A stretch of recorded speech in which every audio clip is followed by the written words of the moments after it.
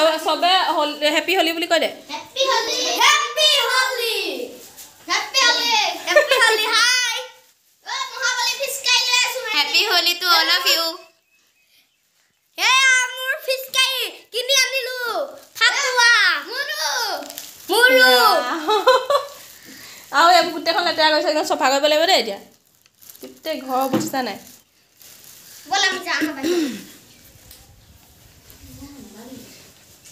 এতিয়া ক'ত খেলিবি? ক'ত খেলিবি?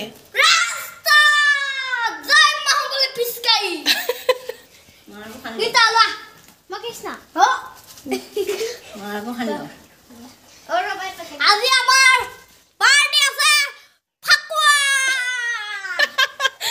পাৰ্টি আছে ফাকুৱা মই ভাল অ পাপনৰ পেকেটটো কি হ'ল মই যে দিছিলো পানী পেকেটটো হা? পানী পেকেটটো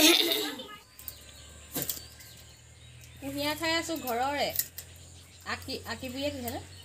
আকিপুৰীয়া কুঁহিয়াৰ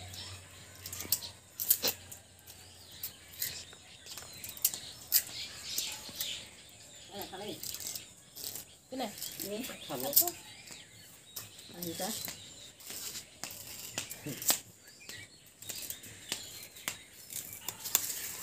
মিঠা আছে নে?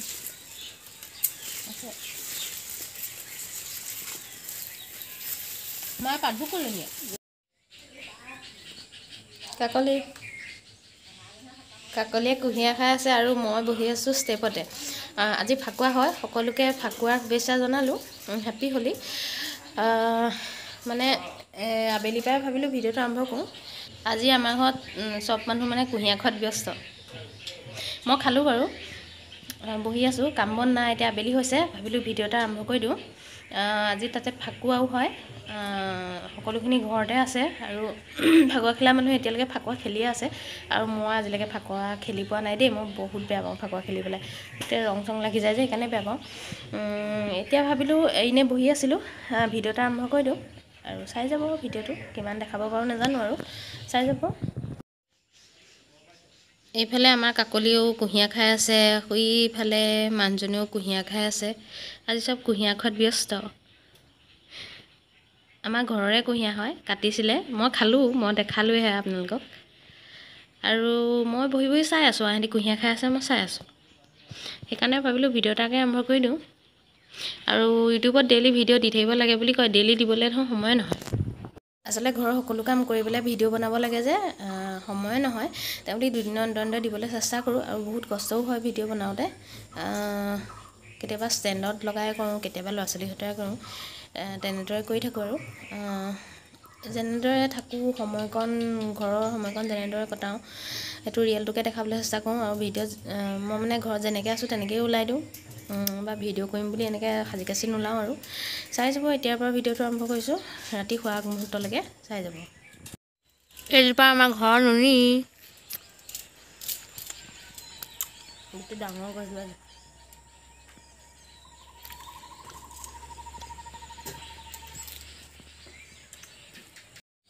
এইকেইজোপা হৈছে আমাৰ কুঁহিয়াৰ কেইজোপা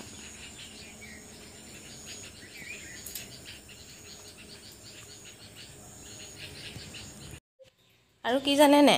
আজি আনি থৈছোঁ পচলা। এইটো এইটো পচলা আনি থৈছোঁ। শুকান পিঠাগুড়ি দি খাম। মচুৰ দাইলো কেইটামান দিম আৰু ফাগুন চ'তমহীয়া এনেদৰে সান্দহ গুড়ি দিও খায় কিন্তু সান্দহ গুড়ি এতিয়া নাপাম ক'তনো পাম সান্দহ গুড়ি সেইকাৰণে ভাবিলোঁ পচলা এটা আনি থওঁ শুকান মই শুকান পিঠাগুড়ি নহয় ভজা পিঠাগুড়ি দি খাম তেতিয়া সান্দহ গুড়ি নিচিনা লাগিব। তাকে ৰেচিপিটো শ্বেয়াৰ কৰিম বুলি ভাবিলোঁ আপোনালোকে চাগে নিশ্চয় খায়েই অসমীয়া মানুহ চবেই খায় কিন্তু মই কেনেদৰে বনাওঁ তাকে শ্বেয়াৰ কৰিম আৰু।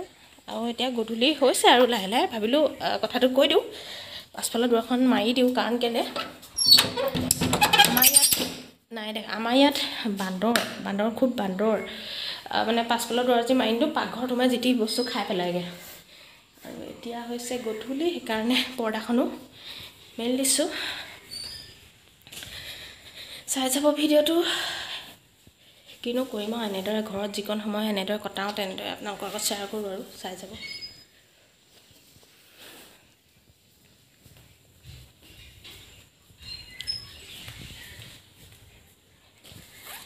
আৰু এইফালে খিৰিকীখন মাৰিব লাগিব নহ'লে মহ সোমাব।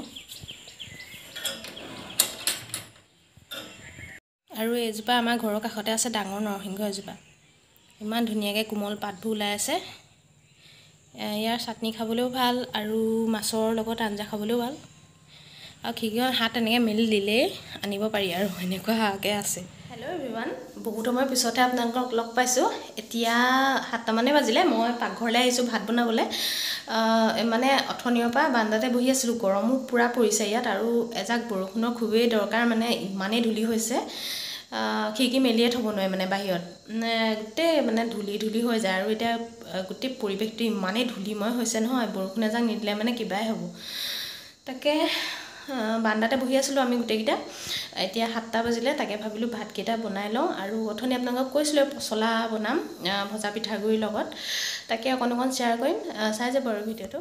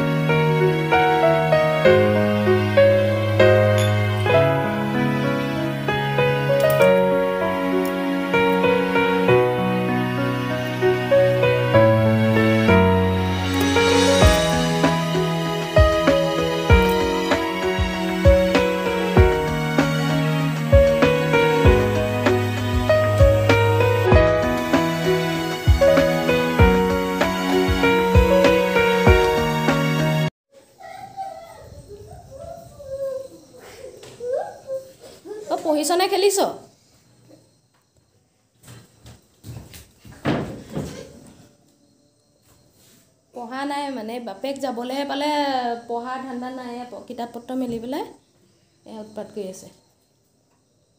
এইটো।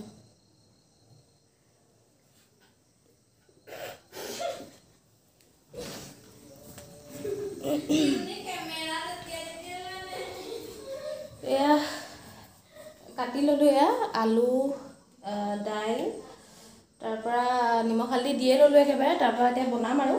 সকলোৱে বনাব জানেই তাৰপিছত মই কি পদ্ধতিত বনাইছোঁ সেইটোহে শ্বেয়াৰ কৰিছোঁ আচলতে কেৰাহীখন গৰম হ'বলৈ দি এতিয়া তেল অলপ দি দিম মিঠাতেল আৰু তেলকণ গৰম হ'লত ইয়াতে দি দিম কেইটামান শুকান জলকীয়া আৰু দুখিলা তেজপাত।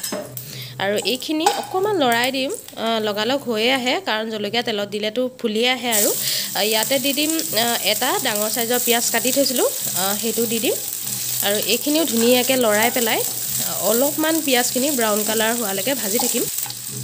পিঁয়াজখিনি হৈ গৈছে আৰু ইয়াতে দি দিম মই এতিয়া আদা নহৰু আৰু জলকীয়া। খুন্দনাত মই খুন্দি লৈছিলোঁ মানে অলপ থেতেলিয়াহে লৈছিলোঁ সম্পূৰ্ণ পেষ্ট কৰা নাছিলোঁ। ইয়াত দি দিম আৰু এইখিনিও ধুনীয়াকৈ মই এতিয়া লৰাই দিম। কেঁচা গোন্ধ নোযোৱালৈকে আৰু ভাজি থাকিম অকণমান সময়। নহৰুৰ পৰা অকণমান নহৰু আদাৰ পৰা যেতিয়া অকণমান ধুনীয়া ধুনীয়া গোন্ধ ওলাব তেতিয়াই আৰু লৰোৱাটো বন্ধ কৰি দিম। এতিয়া ইয়াতে মছলা দি দিম। মছলা দি দিছোঁ জিৰা। জিৰা অকণমানহে দিছোঁ। আৰু দি দিম ধনিয়া। চব মছলা অলপ অলপ দিছোঁ। বেছি ব্যৱহাৰ কৰা নাই বাৰু। আৰু দি দিম অকণমান গৰম মছলা। মছলা সেয়াই আৰু আৰু বেছি আৰু বেলেগ মছলা ব্যৱহাৰ নকৰোঁ আৰু আৰু এইখিনি এতিয়া মই লৰাই আছোঁ ল' ফ্লেমত ল' ফ্লেমত দিছোঁ এইটো কাৰণে মছলাখিনি যাতে জ্বলি নাযায় সেইকাৰণে। মছলাখিনি ধুনীয়াকৈ ভাজ খাই গৈছে আৰু ইয়াতে দি দিম মই পচলাখিনি। পচলাখিনি দিও ধুনীয়াকৈ লৰাই থাকিম মই। আৰু নিমখ হালধি যিহেতু মই আগতীয়াকৈ দিয়ে লৈছোঁ জোখমতে সেইকাৰণে এতিয়া মই নিমখ হালধি ব্যৱহাৰ নকৰোঁ। এতিয়া মই অলপমান লৰাই ল'ম। এতিয়া ঢাকি দিম ল' ফ্লেমত সিজিবৰ কাৰণে। আৰু মাজে মাজে মই দুবাৰ তিনিবাৰ এনেদৰে লৰাই আছোঁ। অকণমান তাকে দেখাই দিলোঁ আৰু।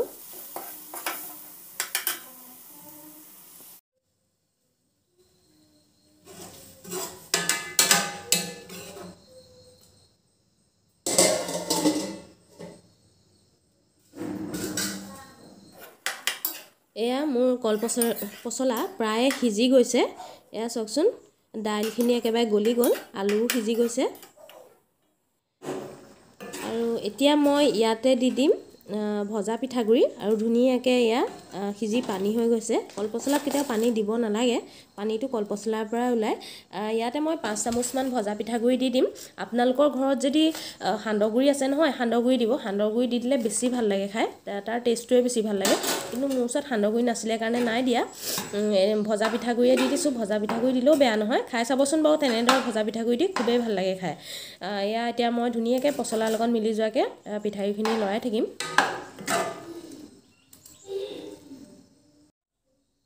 আৰু এয়া পিঠাগুড়ি দিয়াৰ পিছত চাওকচোন পচলাখিনি ইমান ধুনীয়া হৈছে। অক পানীও নাই শুকানো নহয়। থুপথুপীয়া নিচিনা খুবেই ভাল লাগে খাই পেলাই। আপোনালোকে এনেদৰে বনাই খাই চাবচোন। খুব ভাল লাগে খাই পেলাই। আমাৰ আজি ৰাতিৰ ভাত সাজ এয়া বাঢ়িছোঁ। আজি পচলাৰ সৈতে হ'ব আৰু ভাত। আৰু ফাগুন চ'তমহীয়া যদি এনেদৰে সান্দহগুড়ি দিয়ে হওক বা ভজা পিঠাগুড়ি দিয়ে হওক পচলাটো খাব লাগে। মানুহৰ স্বাস্থ্যৰ কাৰণে বহুতেই ভাল। মানে এই এইটো সময়ত মানুহৰ গাৰ ছালবোৰ খুবেই শুকাই যায়। সেইবাবে পচলা যদি খোৱা হয় ভজা পিঠাগুড়ি বা সান্দহগুড়ি দি খুব মানে স্বাস্থ্যৰ কাৰণে বহুত পৰিমাণে ভাল। আৰু আগৰ আমাৰ মাহঁতে এনেদৰে খুৱাইছিলে ভাবিলোঁ আজি আপোনালোকৰ আগত শ্বেয়াৰ কৰি দিওঁ যদি নাজানে এনেদৰে খাব পাৰিব। আৰু আজি আমাৰ ৰাতিৰ ভাত সাজ হৈছে এয়া আপোনালোকৰ আগত শ্বেয়াৰ কৰি দিলোঁ।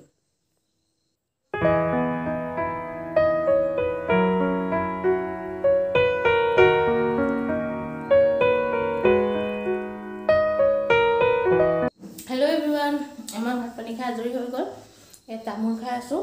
ভাবিলোঁ ভিডিঅ'টো ইমানতে সামৰি দিওঁ যদি ৰেচিপিটো চাই ভাল পালে লাইক কৰিব কমেণ্ট কৰিব। আৰু নতুনকৈ যদি চেনেলটোলৈ আহিছে ছাবস্ক্ৰাইব কৰি ওচৰত থকা বেলেগত প্ৰেছ কৰি আৰু দিব। তেতিয়াহ'লে আজিলৈ আহোঁ। Bye bye good night